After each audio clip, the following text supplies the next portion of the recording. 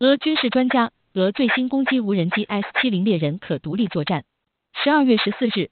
俄罗斯副防长阿列克谢克里沃鲁奇克对俄媒表示，俄罗斯最新型攻击无人机 S-70 猎人首架试飞原型机在契卡洛夫新西伯利亚航空场下线，该无人机正为试验和首飞做准备。在接受消息报采访时，俄军事专家维克托穆拉霍夫斯基透露，猎人无人机将能独立遂行战斗任务。穆拉霍夫斯基表示，这种武装无人机将发挥轻型多功能战斗机的作用，它能实施侦察、巡逻、目标指示、对地面目标发起攻击、对抗敌空中武器等任务。该无人机在设计之初就准备好独立作战，以及在混合编组内与有人驾驶战机一起完成任务。根据他的介绍。猎人无人机上采用人工智能技术，可作为战役战术航空兵分队和兵团的先遣梯队。据介绍